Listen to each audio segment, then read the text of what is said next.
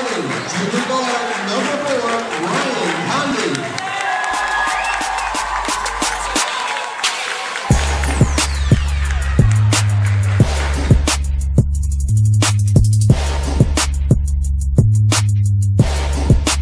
elbow.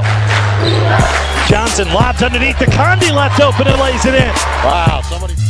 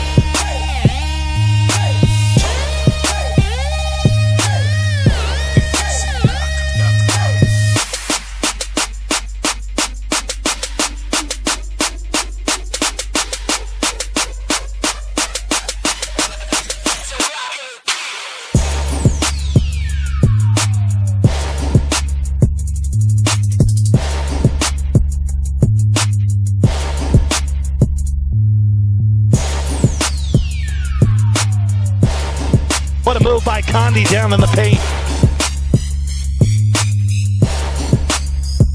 In to start the fourth quarter, it's Karan Johnson to Conde on the left elbow.